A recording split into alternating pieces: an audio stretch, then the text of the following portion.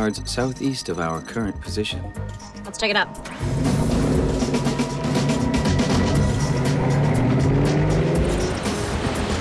Once we get out past this, that's where the big waves are.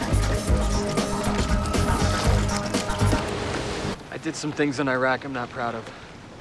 Now I'm just looking for a fresh start. To me, you gotta look at willing to let the wave take you. What if it takes you somewhere you shouldn't go? Isn't in my vocabulary. Like, if someone were to offer me and my boys a boatload of cash to do a job like the one we used to do, why should I say no? Depends on how dangerous the job. You don't want to do anything stupid. Stupid is not listening to your gut. Sometimes even I make that mistake. Well, at least there's always another wave. True. But out here, that's what'll kill you.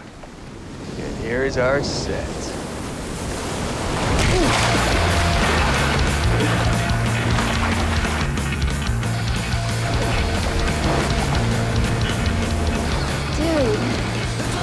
KITT, can you hear me? Yes, Michael.